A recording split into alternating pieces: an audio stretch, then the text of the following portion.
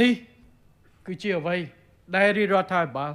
ក្នុងរយៈពេល10ខែជាងនេះហើយក្រសួងស្ថាប័នភាគច្រើនខិតខំណាស់ទោះបីជារដ្ឋមន្ត្រី ជាច្រើនសិតតែថ្មីថ្មីក៏ដោយតែគាត់ខិតខំណាស់សំបីតែរដ្ឋមន្ត្រីទេសចរគាត់ខិតខំណាស់បើមើលសមិទ្ធផលពិតណាស់យើងមើលយើងបដោតតាមមួយជ្រុងអានឹងវាអត់មាន តែបើមើលផ្សេងទៀតសួរតែឆៅលេងហ្នឹងពីណាអ្នកយកមកអាកំបលស្អីស្អីហ្នឹងបកកើតកម្មវិធីអីផ្សេងផ្សេង បនតលេបនអីផ្សេងផ្សេងសម្រាប់រដ្ឋមន្ត្រីថ្មីផងធ្វើបានប្រប៉ុណ្ណេះ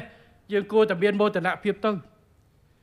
ខ្ញុំមិនមែននិយាយកាន់ជើង ដោយចេះតែងងឹតងងល់នោះទេតែកាន់តែជើងគ្នាឯងខ្ញុំទទួលស្គាល់ហើយខ្ញុំទទួលក៏ត្រូវរដ្ឋាភិបាលយើងដោះស្រាយមិនបានគ្រប់អ្វីដែលបងប្អូនចង់បានក្នុងពេលតែមួយតែយើងខិតខំ ហើយក្នុងរយៈពេល10ខែនេះយើងបានជំរុញច្រើនវិស័យទៅហើយរួមទាំងវិស័យទេសចរទោះបីជាទេសចរនៅទីនេះមិនទាន់បានច្រើន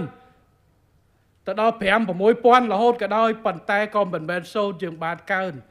36%ឆ្នាំនេះយើងនឹងដាក់ទិសដៅដើម្បីឲ្យកាន់តែកើនតទៅទៀតនេះគឺជាអ្វីដែលយើងត្រូវរួមគ្នាមិនមែនម៉ោងច្អល់ដាក់គ្នាទេម៉ោងតែធ្លុងមួយខ្ញុំប្រជុំជាមួយរដ្ឋាភិបាលរបស់យើងកែបុតខ្ញុំប្រាប់ត្រូវគិតជាក្រុមគេ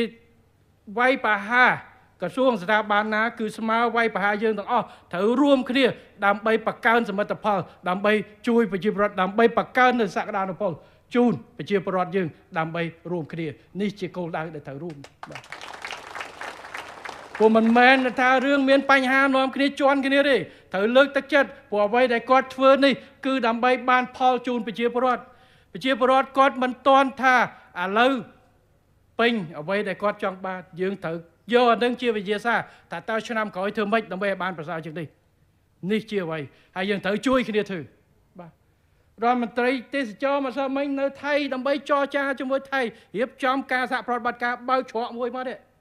បាទគាត់អត់នៅនេះថ្ងៃនេះដោយសារគាត់អាឡ័យតែនៅចរចាយប់មិញម៉ោងប្រហែលជា2ផ្លូវ2ភ្លឺ3ភ្លឺនៅនៅឆ្លើយឆ្លងជាមួយខ្ញុំទេតើតើដាក់ statement យ៉ាងម៉េចអីយ៉ាងម៉េច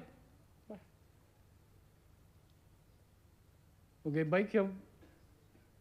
ឡើងទៅទៅជួបបងប្អូនសុបាយមកវិញគេញលក់ទៅម៉ោង4អញ្ចឹងគឺយើងត្រូវធ្វើ